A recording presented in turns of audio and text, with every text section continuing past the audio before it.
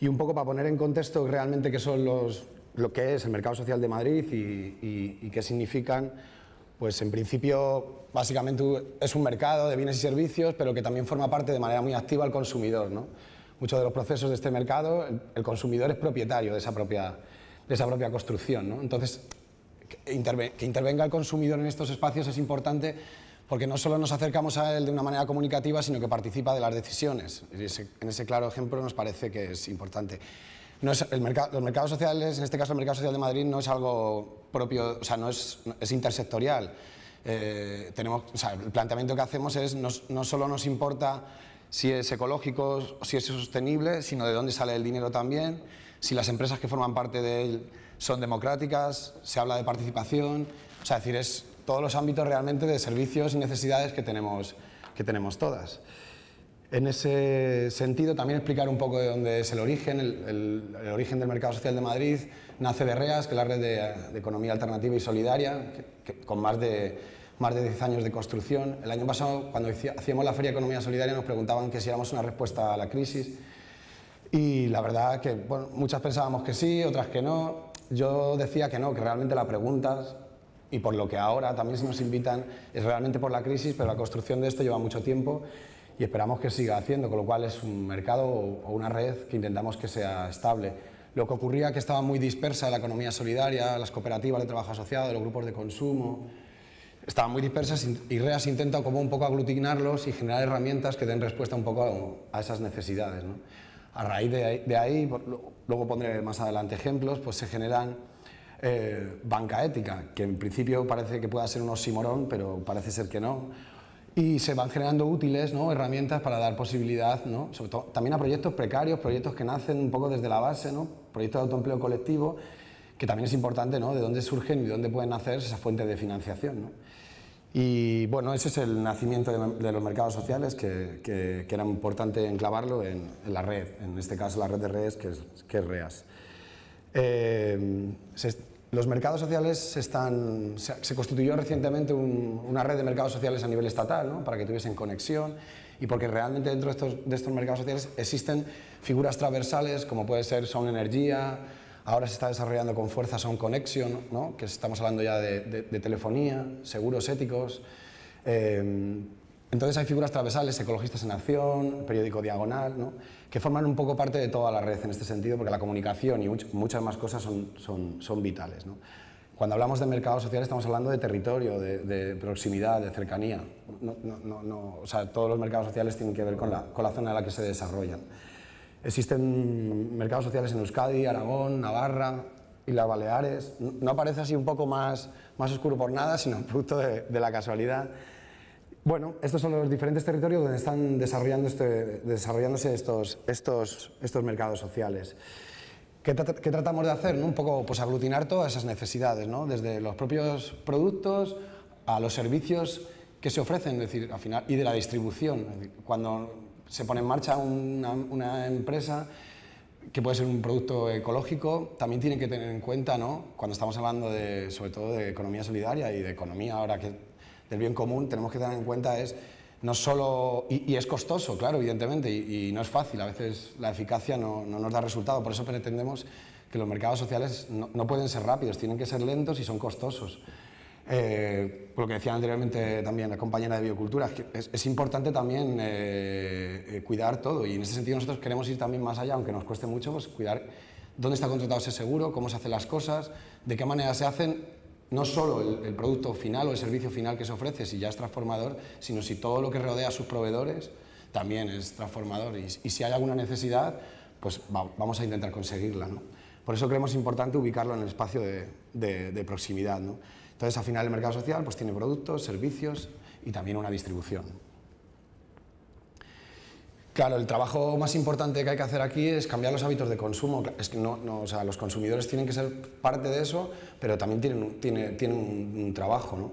que, que, que, desarrollar. Como consumidores necesitamos saber que, claro, cuando vamos a una feria o a cualquier evento eh, que habla de la sostenibilidad, tendríamos que tener en cuenta también muchas más cosas que a veces no podemos llegar a ellas, pero los vasos también son importantes. ¿no? Entonces, claro, al final utilizar un vaso retornable o un vaso de plástico, claro, un vaso retornable es complejo, no es fácil como consumidores, pero tenemos que poner un poco de fuerza en en, ese tipo de, trabajos, aunque a veces no podamos, no podamos conseguirlo. Es decir, que creemos, que pensamos que el consumidor tiene que participar de manera activa en los procesos, pero también a la hora de, a la hora de no podemos facilitar demasiado muchos de estos proyectos porque estamos muy acostumbrados a un consumo muy rápido, muy, muy, muy, muy eficaz, pero a veces es complejo, con lo cual en eso pues tenemos muchas pegas. Entonces hemos, hemos intentado desde el principio, desde el inicio, intentar que, que, que, como consumidoras le demos un poco la vuelta a la economía y que cambiemos nuestras maneras de, de consumir. ¿no? Por eso también muchas veces se habla de consumidor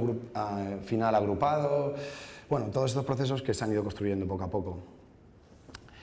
Eh, ponía ejemplos, en este caso como banca o banca ética. Bueno, dentro de REA se generaron espacios pues, como COP57, que es una cooperativa de crédito, que su dinero pues, sale de otros procesos y otras cooperativas, ¿no? que en un momento dado necesitan financiación, otras no, pero bueno, el dinero sale de una producción ética y de unos servicios éticos. Y también FIARE, ¿no? que de cara a septiembre se presenta ya como, como, como estructura ya no solo de ahorros, sino donde podremos tener nuestro, nuestro dinero.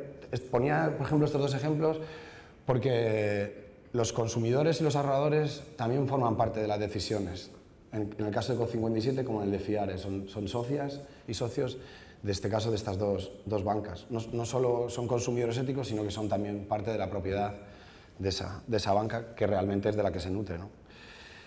Eh, no sé si se, verá, muy bien. Eh, bueno, este es un poco el sudoku ¿no? que, hablamos un poco de, que desarrolló en este caso Jordi García, ¿no? de, lo que son los mercados sociales. La producción cooperativa de bienes y servicios, realmente cuando un proyecto cooperativo genera excedentes, lo que genera es trabajo y a su vez si genera excedentes económicos lo que genera es ahorro y ese ahorro se, va, se ubica en un, en, un, en, un, proyecto ético, en una banca ética. Cuando una persona, un grupo de personas que, nacen con un poco con necesidades económicas, una precariedad, pero con una capacidad profesional importante para poder desarrollar su actividad, necesitan financiación y esa financiación no es accesible. Entonces, bueno, pues es intentar ir cerrando un circuito, ¿no?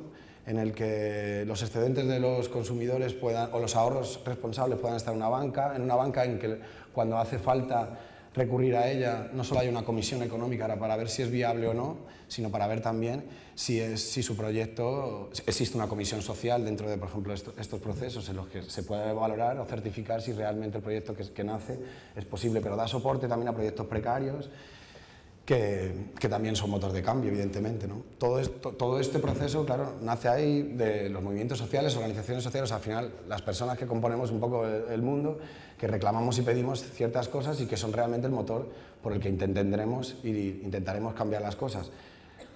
Claro que hay crisis de sostenibilidad, hay crisis económica, pero hay muchas crisis también en este sentido, también de democracia. Por eso entendemos también que las empresas tienen que ser democráticas en su propia constitución ¿no? y en su construcción permanente. Esto es un poco para que en general se pudiese ver un poco este, este sudoku complejo, ¿no? donde realmente siempre que se produce excedentes, ese excedente va, va, retribuido a las personas. Por eso es importante que en el centro de la economía sean las personas. ¿no? Eh, ¿Cómo nos organizamos? Yo creo que eso es muy importante, a lo mejor es así un poco, no lo parece, pero sí lo es. El mercado social, en este caso de Madrid, se organiza en diferentes comisiones, una comisión de difusión y comunicación, una comisión de acogida y certificación y auditoría y la comisión de moneda social ahora iré contando. Todos estos espacios pueden participar tanto las entidades proveedoras, sus socias y sus socios, como los consumidores que forman parte de ellos. Son espacios abiertos. Claro, se van ubicando también dentro de estas comisiones las entidades o proveedores o personas más expertas en estos campos, ¿no? en la comunicación, el diseño, la certificación, el balance, etc. Por ir explicando un poco el trabajo, cómo se va desarrollando, por ejemplo, en, en el proceso de certificación, que para nosotros es lo más, primeramente haremos lo más importante, es una certificación participativa. Claro, eh, es, es, interesante que haya un sello ecológico y, y además es una manera de, de, de, de, poder ordenar y organizar y poder dar una muestra al final al consumidor de que existe ese sello, pero también podemos hablar de certificación eh, participativa, es decir, los, eh, cuando hacemos, nosotros como se integra una entidad, y luego lo, comento, en, en el mercado social, es rellenar unos formularios que se están construyendo permanentemente, que se están modificando, que, en este sentido todavía no lo tenemos del todo desarrollado porque están permanentemente en construcción.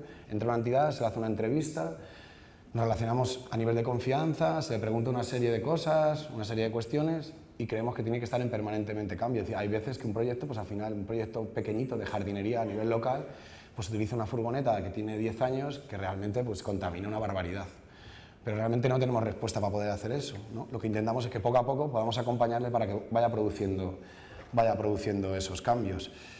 Dentro de esta auditoría, esta entrevista que se puede hacer a esa entidad, participan también los consumidores y se le hacen devoluciones. Cuando nosotros consumimos dentro del mercado social y hay algo que no nos gusta, lo devolvemos y a lo mejor nos vemos que, bueno, que esa situación hay que cambiarla porque no cumple esos criterios. ¿no? Pero sobre todo no son criterios estancos, son criterios continuos y que tratamos de que vayan cambiando poco a poco. Entonces, con esto trabajamos un poco la participación, la transparencia, la metodología, la autoevaluación, el compromiso y la propia marca, en este caso, de, de mercado social. Esto lo que vamos implementando en, las diferentes entidades, cooperativas, personas que van, que van entregando el mercado social es una respuesta gráfica, en la que hablamos de compromiso con el entorno, en la que hablamos de lucro, en la que hablamos de política laboral, de sostenibilidad, de cooperación y de democracia. Claro, dar respuesta a una certificación a nivel cuantitativo es complejo, cuando realmente es cualitativa, pero de alguna manera tenemos que hacerlo y habrá que modificarlo, cambiarlo. Pero estas entidades se comprometen a colgar esto, ¿no? y, todas podemos acceder a, ver realmente cómo económicamente está funcionando esa entidad, cuáles son sus beneficios, dónde, van, dónde están invertidos sus beneficios, eh, qué política laboral tiene. Pues yo siempre pongo, cuando se habla de este debate, qué es economía social o qué es economía solidaria o diferentes cosas, creo que es importante entender que, claro, podemos ser una cooperativa de trabajo asociado de armas de destrucción masiva Claro, la empresa es muy democrática, pero su actividad realmente al resto de la, humanidad no, le favorece en absoluto. ¿no? O, cuando hablamos de economía solidaria, que nuestra propia actividad y la manera de hacer las cosas y lo que transforme hacia afuera también sea, sea potente. Esta respuesta gráfica es el resultado que tenemos cuando pasamos esta evaluación y que va en permanente cambio.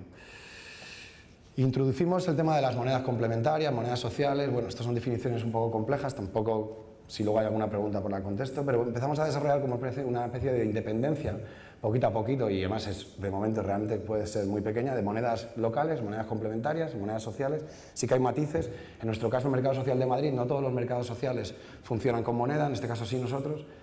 Salió la moneda social, en este caso de Madrid, es el, es el boniato, en la sierra hay otras monedas como la mora, El nombre puede ser un poco curioso, pero bueno, nace de quien en el momento dado lo ha intentado construir. Y estamos desarrollando la, usabilidad. ¿no? Hay ejemplos como en otros lados de Europa, como pues, eh, recientemente hubo un documental en televisión española en la que se veía como el alcalde de Bristol cobraba ya moneda social. En otros lugares se está viendo como para soportar la liquidez.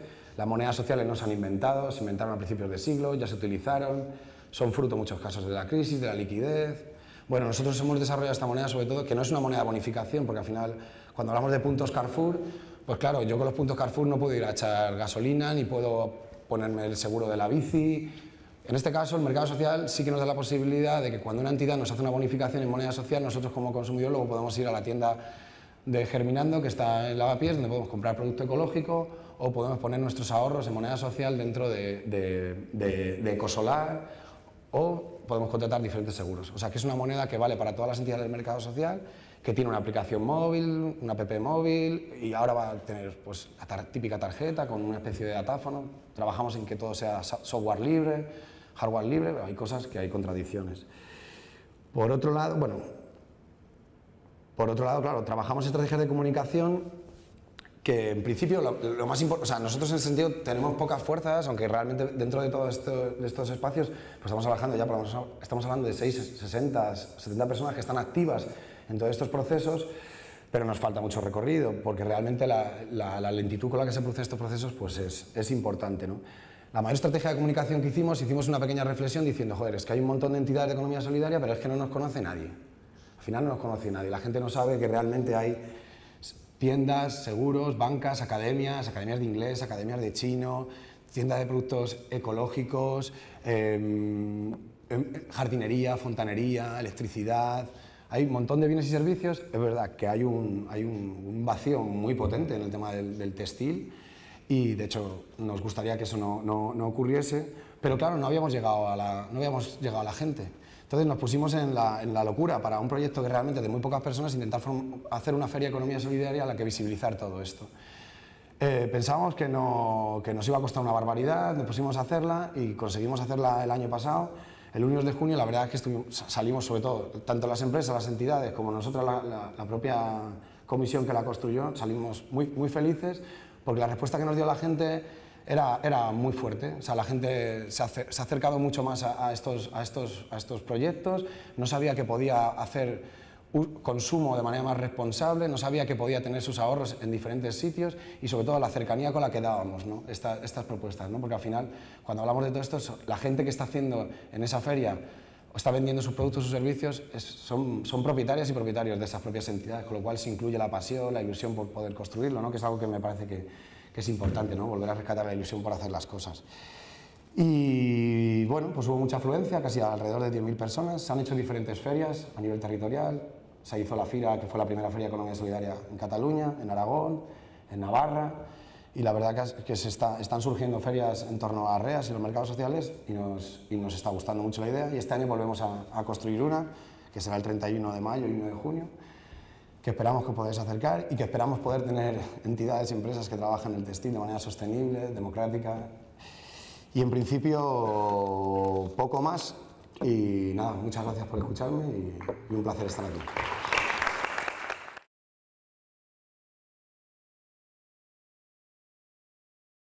Así de sencillo es el cambio de paradigma.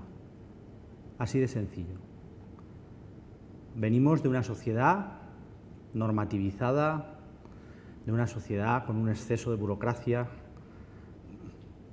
¿Sabéis aquello del niño aquel que le pidieron en, clase que hiciera un dibujo de un ser humano hizo un cabezón tremendo y un cuerpecito pequeñito con dos patitas? Y así, dando, ampliando el cabezón, lo tenemos complicado.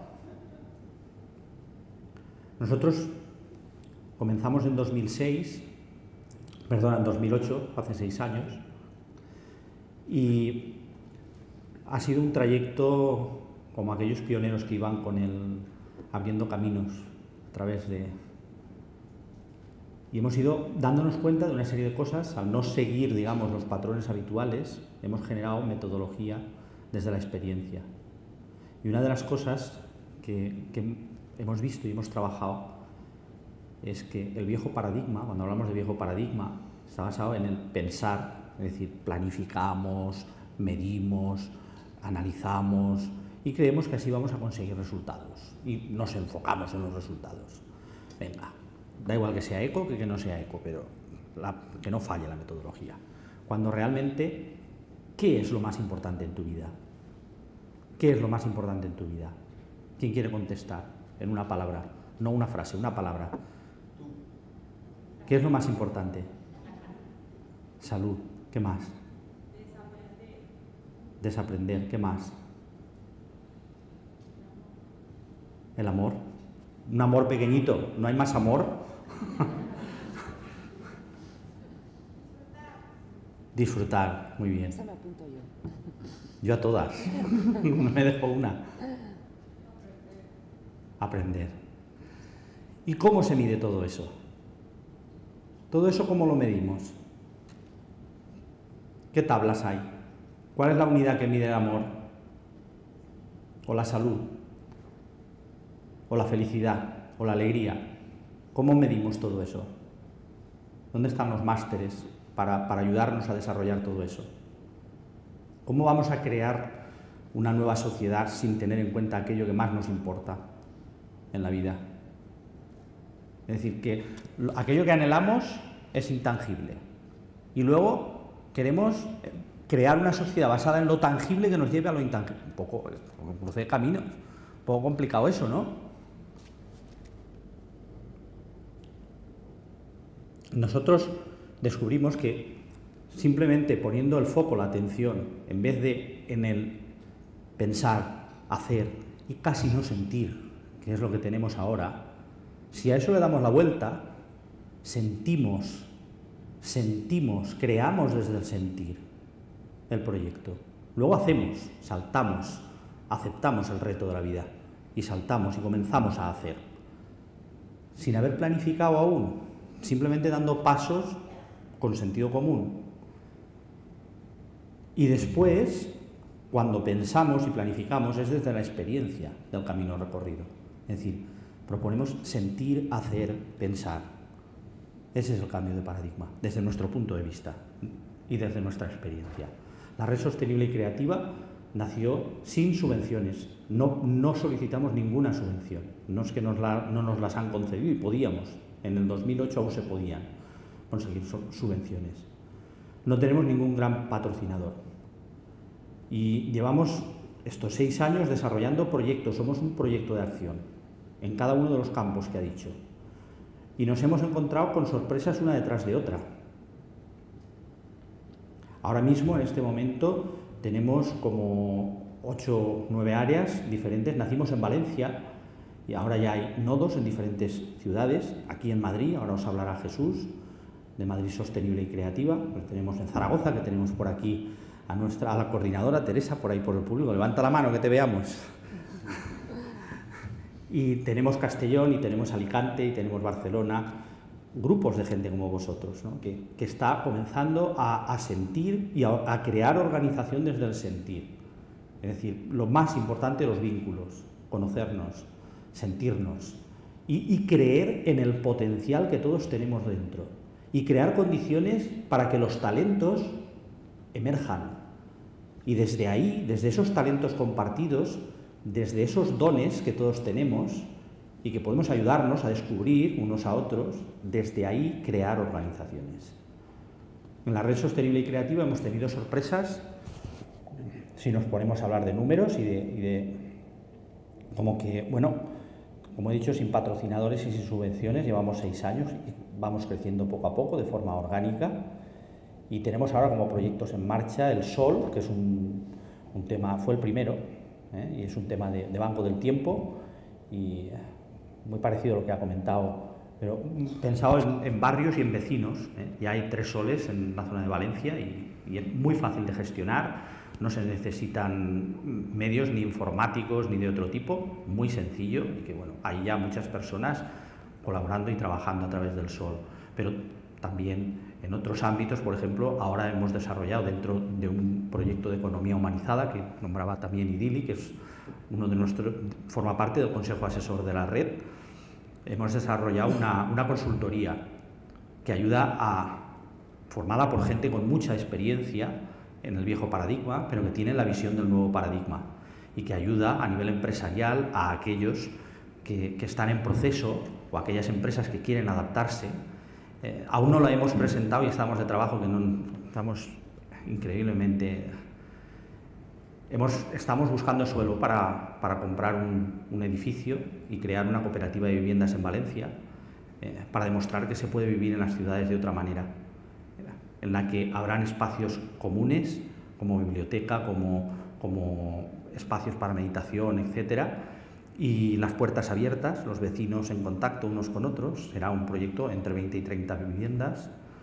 Eh, bueno, tenemos un, hemos creado una red social de salud que bueno, también os contará porque aquí en Madrid podéis, tenéis ya una en marcha, ayer se hizo la presentación y ya empezamos aquí. La red social de salud será un espacio en el que médicos, terapeutas, gente del, mundo de la salud se pone al servicio de la sociedad y el precio lo pone eh, de forma eh, consciente el consumidor. Es decir, que el dinero no sea un límite para que puedas recibir la atención de diferentes profesionales de la salud. Mm, el primer espacio físico ya, ya está en marcha en Valencia y lo inauguraremos después del verano. Eh, podría seguir. Estamos con un proyecto de un jardín etnobotánico donde poder entrar en contacto con la naturaleza, con las plantas, con sus cualidades, con cómo eh, vivir de cerca la tierra. Tenemos una terraza plantada eh, en el centro de Valencia, que es un punto de conexión con gente, llega con, el tema de las, de las semillas, eh, es una, una, terraza de 150 metros cuadrados encima de un pub. Y, la gente va allí al pub y se sube a coger habas a la terraza. Y esto ya está en marcha también. Y todo esto se ha creado desde el sentir. Todo esto, es decir, no fue una planificación, Hemos ido dando pasos, hemos estado abiertos a lo que ocurría, a lo que surgía, a la gente, a lo que la gente sentía que se podía hacer y nos hemos organizado desde ahí y hemos creado red desde ahí. Entonces era compartir esto. Ahora pues en el tema de, la moda sostenible y de todo eso estamos colaborando con, con Gema y vamos a ver qué somos capaces de hacer juntos, abiertos a crear sinergias con la economía solidaria, con cualquier proyecto que aporte valor a la sociedad y, bueno, estamos convencidos de que el cambio no solo es posible, sino que es inevitable. Podemos retrasarlo y sufrir más, o podemos realmente comprometernos. ¿Conocéis, conocéis aquello del, del, colibrí? El, colibrí había un incendio en el bosque y, los animales, eh, estaba, era un bosque muy, muy lejano ¿no? del ser humano y los animales se organizaron. Hay, que, hay que apagar hay que conseguir parar esto. Cada uno pues fue haciendo, ¿no? Y los grandes animales pues llenaban la boca o hacían lo que podían para ir apagando el fuego. Y bueno, un colibrí volando iba y venía, iba y venía. Cuando lo vieron le preguntaron, ¿qué haces? Dice yo, lo que puedo. Gracias.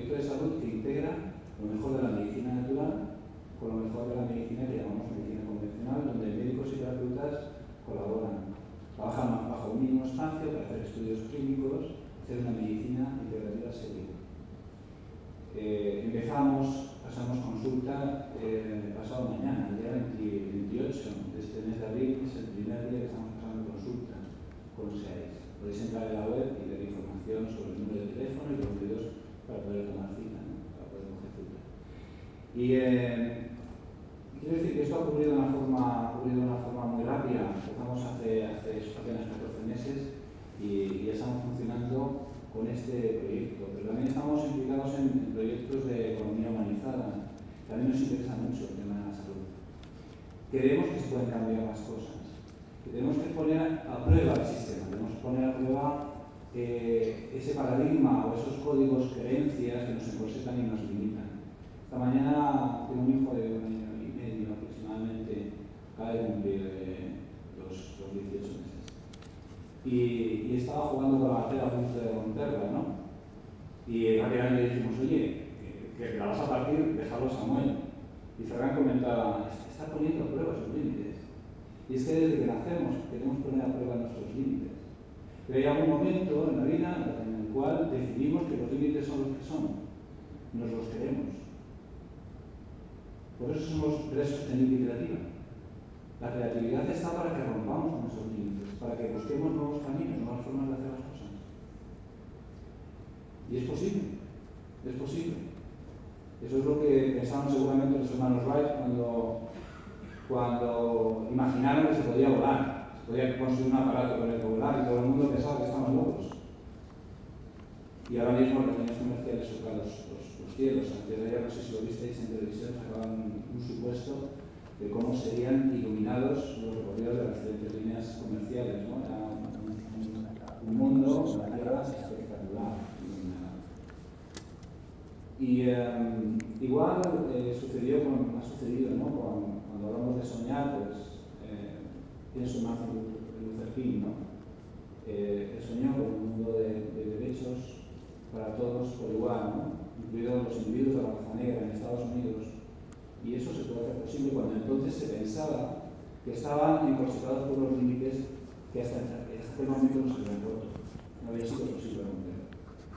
Actualmente el hombre es capaz de sumergirse en el mar y bucear al pulmón hasta 100 metros de profundidad. La ciencia veía que esto era completamente imposible. Es decir, estamos rompiendo, permanentemente estamos rompiendo límites. ¿Y quiénes rompen los límites? Los que se atreven a romperlos, los que no se los creen los que rompen con ese padrino. Entonces, cuando tú eh, conectas con tu talento, necesitas un caldo de cultivo dentro del cual puedas desarrollar y ejercer ese talento, puedas descubrir hasta dónde pueden alcanzar tus posibilidades. Y ese caldo de cultivo te lo ofrece la red. Y eso es lo que hemos ido descubriendo en Madrid Sostenible y Creativa en estos meses de andadura. Es el caldo de cultivo perfecto para poder poner en marcha y y, y así, así en realidad es como ha sucedido. Para ello también es necesario el entusiasmo. Es decir, uno tiene que entender que, que hay una visión, una visión de a dónde quieres llegar con tu talento. Entender una misión, la misión es qué es lo que yo puedo hacer con este talento que tengo y comprender cuál es tu propósito. Cuando, cuando entiendes eh, visión, misión y propósito, entonces hay entusiasmo. Y fijaros, la palabra entusiasmo etimológicamente significa Dios en mí. Entonces Dios está aquí. Y todo es posible. Todo es posible, todo. Es decir, aparece esa persona que necesitas para llevar adelante ese proyecto que quieres llevar adelante, que quieres hacer. Aparece ese contacto, esa posibilidad. Va surgiendo. ¿Por qué? Porque estás enchufado. Estás enchufado con entusiasmo en una dirección, con un propósito.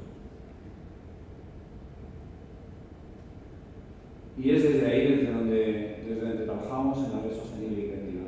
Este fin de semana, es decir, ayer tuvimos un evento con 140 personas en el que presentamos SEAIS, Servicio Altruista e Integrativo de Salud. La verdad que disfrutamos muchísimo, lo hicimos también desde ahí, desde el sentir. Y esta tarde pues, tenemos un módulo de formación en red. Es decir, hay una serie de claves, como Ferran ha explicado, hemos ido descubriendo y los hemos ido descubriendo desde la experiencia. Y queremos compartir esas claves con la gente. Así pues, tenemos ese módulo esta tarde, el, número de plazas está cubierto, no hay posibilidad, pero sí eh, tenemos la propuesta de generar unos módulos para, formar en red y que otros puedan aprender la metodología empírica que hemos ido desarrollando. Así que os invito a ellos, tenéis interés, como sabéis, tenemos una página web sostenible.org y ahí podéis obtener la información necesaria. No sé si Ferran nos quiere contar algo más para despedir esta intervención. Yo prefiero darles la voz, que, que pregunten, que nos pregunten y que, que sean ellos los que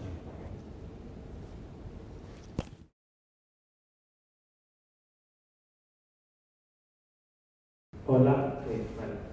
Eh, bueno, respecto a los últimos que habéis hablado, me he quedado muy sorprendido con todas estas ideas e iniciativas, pero no me, no me queda muy claro cómo se gestionan. O sea, por ejemplo, esto del centro de salud, bueno, por llamarlo así, eh, ¿cómo lo lleváis? O sea, ¿quién se encarga de eso y cómo se estructura? Y luego otra cosa que me encanta mucho es el proyecto este que has dicho de que vais a crear como un edificio donde va a vivir gente quiero que lo expliques más porque no me ha quedado muy claro cómo, cómo se va a estructurar o cómo funcionaría eso, porque me parece así como muy utópico y, y no sé cómo... Contesto yo por el, tema de la medicina integrativa. Eh, la forma de estructurarlo es bastante muy innovadora. Normalmente cuando vas a la consulta de, de un médico eh, dispones de 5 o 10 minutos a lo sumo, eh, el médico tiene posibilidad de evaluar los síntomas que ofrece tu cuerpo, pero no, no hay posibilidad de analizar nada más. No, no hay un, un, entendimiento, un concepto de que somos una unidad cuerpo, mente y espíritu. Entonces, para poder ejercer, para trabajar sobre cuerpo, mente y espíritu, entendemos que tiene que haber un equipo multidisciplinar. Así pues, hay una primera atención que la realiza un médico generalista y este deriva a otros especialistas. Siempre a un, a un psicólogo o cuatro personal que puede entender cuáles pueden ser los desequilibrios en la vida de la persona que han ido generando ese desequilibrio que llamamos enfermedad. A partir de ahí se deriva a los especialistas y además es todo esto conectado con una red de salud que son eh, entidades cuya actividad tiene que ver con la salud, aunque sea de una forma secundaria, como pueden ser pues, eh, grupos de senderismo, grupos sociales para aquellas personas que necesitan eh, una vida social, problemas de salud que tienen por ahí, redes sociales, eh, grupos de yoga, meditación para los que necesitan activar su mente, danza del vientre, etc. No sé si explico un poco, esta es la estructura por encima. Habría mucho que hablar de la estructura porque si ahí requiere una presentación eh, específica y prolongada para poder conocer el proyecto, pero yo creo que así a grandes rasgos puede ser suficiente. Pero, pero, no sé si Ferran sí. más tarde indicado para contestar a la pregunta. Do, dos cositas. La clave es empoderamiento. Todo lo que hacemos en la red, la clave es empoderamiento. Recuperar el poder personal y colectivo desde ahí. Y en salud también. Es decir, en SEAIS el profesional está al servicio y te ayuda a que tú sanes. Sea un médico de medicina tradicional o sea un naturópata o un acupuntor y luego generamos casuística integrativa. Hay muy poco de eso. Es decir, empezamos ahora recientemente, pero la idea es qué pasa cuando si tú tienes un, tema con la salud y te trata pues alguien temas de nutrición, eh, alguien te enseña a meditar y luego otro profesional te da vitaminas. ¿Qué pasa cuando interactúan tres profesionales diferentes? Todo eso es lo que vamos a ir desarrollando, pero ya desde la acción, somos, como he dicho, un proyecto de acción. Para el empoderamiento personal y colectivo, creemos que la salida del momento que estamos viviendo en el textil y en toda la sociedad pasa por el empoderamiento. Y lo mismo con, el tema de la vivienda. Creemos que mm, la mayoría de la gente de las ciudades no está preparada, no estamos preparados para ir a vivir al campo y sostenernos. Hay una paranoia colectiva ¿no? de irse a vivir a, al campo todos y crear ecoaldeas y, y, vivir en los pueblos y estar tranquilos, pero nosotros entendemos que mayoritariamente es una, una paranoia, es decir, hay muy poca gente realmente capacitada para sacar adelante eso. Y desde ahí nos dimos cuenta de que hacía falta crear otras condiciones de vida en las ciudades, transformar la ciudad. Y para eso hay que crear nuevas formas de habitar en la ciudad. Y desde ahí es de donde surgió la idea de, de comprar un edificio, será en régimen de cooperativa, ya tenemos rayas, ya estamos buscando suelo, no, no es una idea utópica, se va a hacer, no sé si ahora o de aquí unos meses o de aquí un par de años, pero ya estamos en proceso y lo haremos, un edificio que demuestre que se puede vivir de otra manera en las ciudades y que además no tiene por qué ser más caro que, que un edificio tradicional. Ya hay profesionales, arquitectos, trabajando entusiasmados en el proyecto. Y, bueno, lo que nos gusta es esto, es decir, creemos que nos hemos tomado también demasiado en serio nuestra vida y la sociedad, demasiado en serio, es decir, toda esa, todo ese drama, todo ese sufrimiento, que lo hay, pero si no encontramos válvulas de escape, si no conectamos con el niño que todo y la niña que todos somos y jugamos para construir esa nueva sociedad realmente que tenga en cuenta al ser humano como centro de la sociedad, con todo lo que eso implica. ¿Te sirve?